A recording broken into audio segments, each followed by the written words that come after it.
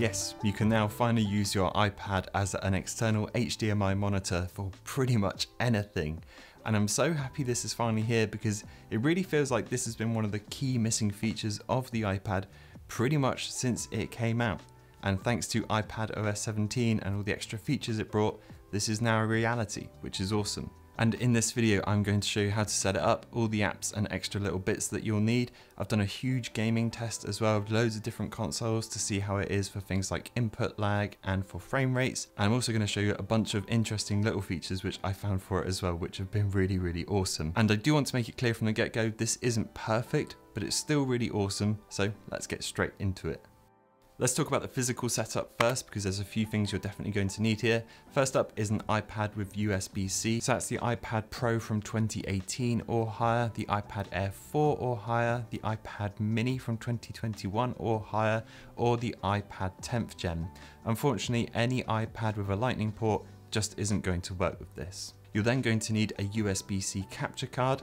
I've got one here from Geemok, I think it's called. It's a really odd name, but anyone will do which goes directly into USB-C. And luckily these are quite cheap. I think I paid 20 pounds for mine. You then set up your console like normal, but rather than plug the HDMI into a screen or a TV, you plug it into the capture card and then you plug that directly into the iPad and that's everything you need in a physical sense. After that's all set up, you're going to want to head to the App Store and download an app called Orion. This app is what's going to enable all of that setup so you can use your iPad as an external monitor. And I do want to shout out Orion here because this is a really incredibly styled app. They've done a really, really good job of it and it feels like you're unboxing an old CRT display. They've done a really nice job of stylizing how the whole thing looks. It is free from the get-go, but if you spend $4.99 to unlock all the features, which is what I did because I don't think that's too expensive, you get 4K AI upscaling, which is awesome, and you get a bunch of other CRT effects. So if you plug it in a retro console, you can get that old look. So after opening Orion, you then plug your capture card into the iPad and you should be good to go. Everything should be working. so obviously the first thing I wanted to do with this was to try it with the Nintendo Switch and Tears of the Kingdom. And honestly, I was just so shocked that this worked first. I was kind of blown away of just how nice it looks on the iPad screen and it was great. But the first thing I pretty much noticed off the bat was the input lag, especially on the Nintendo Switch.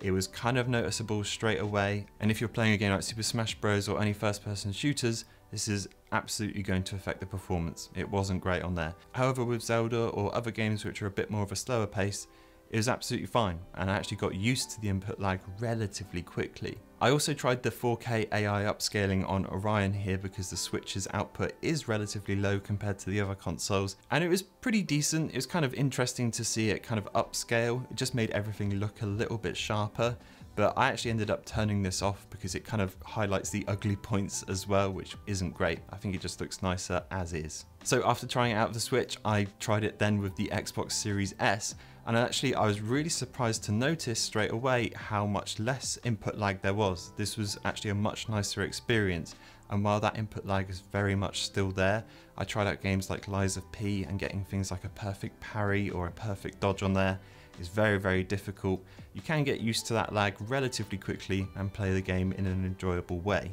I also tried out Bioshock Infinite on here and that was much better. And I think because that game doesn't rely on super accurate inputs, it was a much nicer experience. So the Xbox did have better performance than the Switch, which wasn't something I was overly expecting, considering when you plug both of those into a TV, they're absolutely fine. But obviously I had to try this out with the PS5 as well, and I was pretty shocked to see this, but the second I plugged the PS5 in, I experienced very little to no lag at all. I tried out Jedi Survivor with the PS5 which requires a lot of very accurate inputs, especially in combat when you need those perfect dodges or perfect parries or anything like that and the experience was decent. I actually managed to get through a really tough section I had been struggling with at home just on the iPad and that was really awesome. I also tried out a bit of Persona 5 and obviously as a slower paced game this was absolutely fine with lag. And after the PS5 performed so well compared to the other two consoles it actually made me think maybe it's a connection or a wire. So I went back and tested out the Switch and the Xbox with the PS5 HDMI cable and lo and behold the lag was way way better which is really really weird to see but I'm guessing it's down to the quality and the speed of the HDMI cable even though I thought the Xbox had a really powerful one apparently the one that came with the PS5 seems to handle this much better and that was really awesome to see so the rest of my experience was good. There's still that tiny bit of lag you can just about tell, so if you're trying to be competitive, this isn't the way to do it.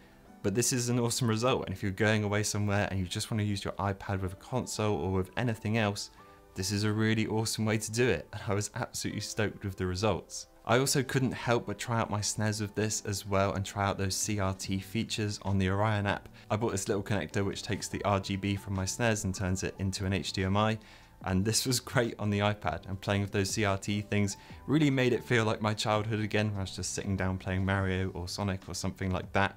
A really cool feature and again there is that tiny bit of input lag but this is just another cool way to use it and it was really weird just hooking up my SNES to something as futuristic as an iPad. I obviously didn't want to end things there. As a creative, I wanted to try this out with other stuff as well. So my first port of call was to try this out with a Mac. And even with that PS5 cable, you can kind of tell the input lag almost immediately and it just didn't make it very nice to use. I think most of us are really used to how a mouse or a trackpad feels that this just felt off straight away. Although it is usable and you could get away with it no problem, I wouldn't recommend using it in this way unless there's a way to completely eliminate that lag. If you want to take something like a Mac Studio or a Mac Mini with you on the move somewhere and just to use your iPad as the monitor, then you can. I also wanted to shout out as well, you can use this as a camera monitor, which is actually what I'm doing right now to film this video. I've got my iPad mini just sitting over there, which has got my complete video feed on it, which is awesome.